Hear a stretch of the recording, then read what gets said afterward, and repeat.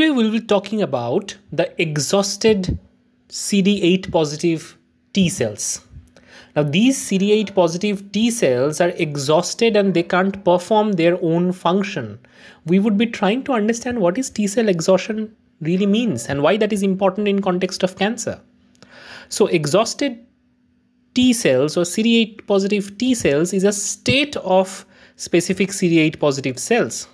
They literally mean that these cells cannot function their uh, job optimally. So in this video, we would talk about what are CD8 positive exhausted T cell, when T exhausted cells are generated, subtypes of T exhausted cells, why T exhausted cells are important in context of cancer, and then we are talking about how one can reactivate them to work again. So all these things would be covered in this video. So these CD8 positive T cells are exhausted and they have certain molecular marker on their surface which is unique signature. Especially they have high levels of PD1, CTLA4, uh, TIGIT, etc. So all of these are kind of like inhibitory modulators of the T cell activity. Exhausted T cell also express specific nuclear transcription factor. A combination of these is basically determine their particular physiological state. For example, TS, uh, TCF negative, EOMES or TBR2 high, TBET low. This is a hallmark molecular signature of an exhausted T cell. So their proliferative capacity is low and uh, their cytokine secretion capacity is also low because the main job of these uh, T cells are either to destroy the pathogen or tumor cells or secrete cytokines. So if all of these aspects are kind of like compromised, then they are exhausted. Anyway, they are not functionally optimum.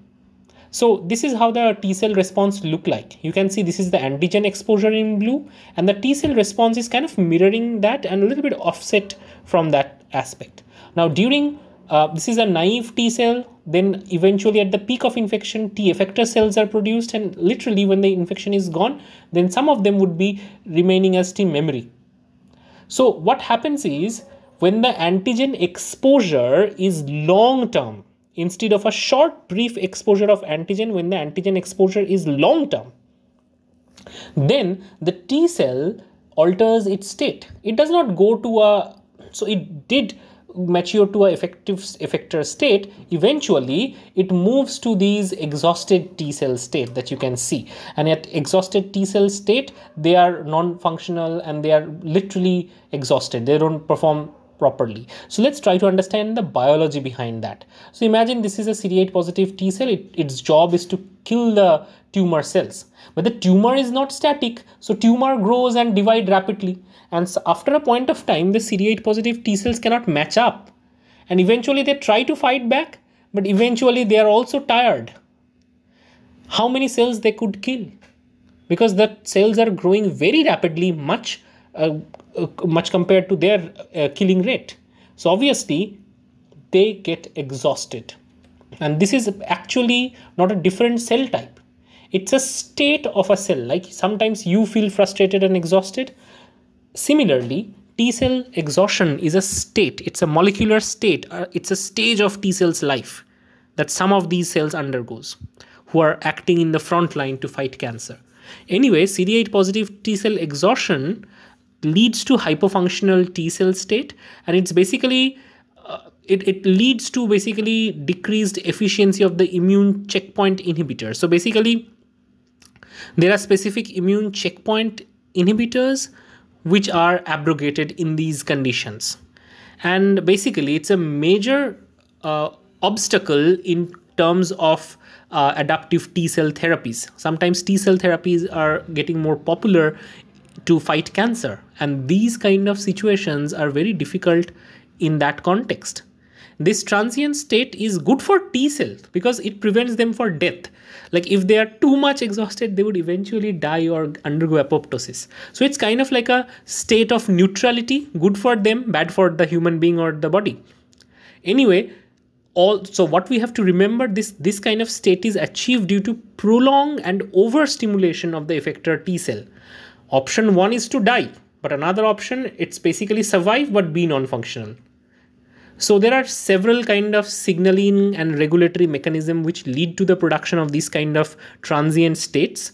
So one of that is basically PD1 and PD1 ligand mediated signaling. We are talking about these signalings because once we understand that, we can prevent these kind of signaling and re rescue these cells from achieving a effector T cell state or we can revive them. There could be CTLA4, B7.1 or 7.2 mediated signaling. There could be basically um, TIM3 mediated signaling. So there could be TIM3, BAT, etc., which lead to a, a kind of like inhibition of the T cells. There could be also mixed inhibition where there are like uh, several uh, in inhibitory and activatory signal together which ultimately but but the inhibitory signals are so strong by the inhibitory receptors it overdrives the activatory signal. But anyway so all these are possible signaling regime by by which the T cell exhaustive state can be achieved.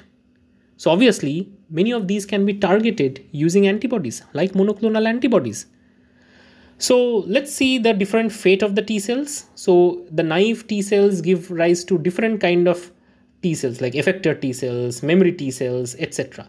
And when overstimulated, they ultimately give rise to this kind of uh, exhausted T cells.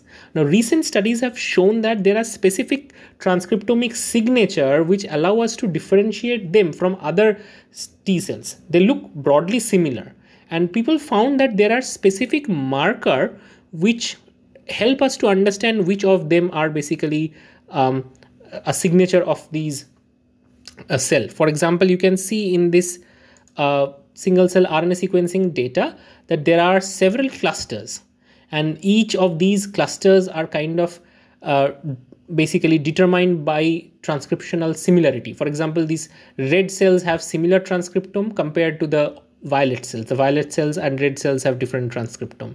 Anyway, one can see here in this is like a Google map. So you can see the territory is defined by this color. In this case, these are the effector like cells and here these are the terminally exhausted cells. These are proliferating cells. So one can see that the terminally exhausted cells that are brown is marked by high level of like PD1 and kind of like a uniformly high level of tox. So this is how one can understand uh, which, which, which are the markers at that state. One can also see TCF7 or TCF1 is very high at cluster 4, which is the progenitors of the exhausted T cells. So all these things tells us there are unique molecular signature which would help us to understand the T cell state altogether. And you can see there is a trajectory of these kind of situation. Like there is basically um, exhausted progenitors, stage one, stage two, and it all happens through a molecular consensus. It's kind of like a te- temporal dynamics of several molecules which dictate these altered fate. It's like you are sometimes little bit exhausted, more exhausted, and extremely exhausted. So these T cells have the similar kind of scenarios. Anyway, um, there are three signal model which uh, which can explain the T cell exhaustion. One is basically persistent antigen presentation, which we learned so far. It can, it can come from like a, a proliferative tumor cells, etc.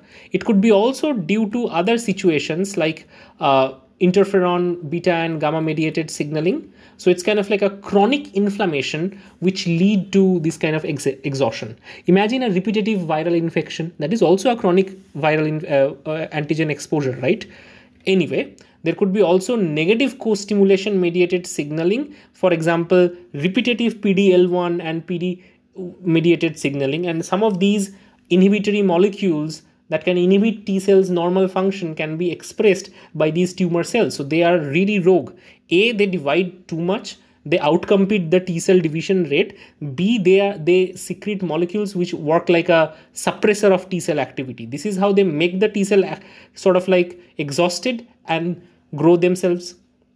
So this is how cancer can spread and prevent T cells activation. Anyway, reactivation of the exhausted T cell is something which which scientists are very interested in.